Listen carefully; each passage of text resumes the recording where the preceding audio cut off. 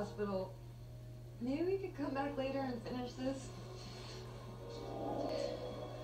Hey, where'd you guys go?